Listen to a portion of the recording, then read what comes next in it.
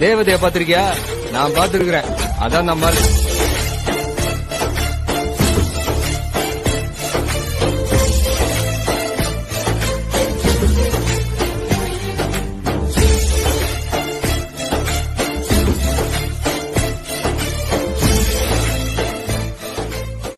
அழகுன அழகு அப்படி ஒரு அழகு.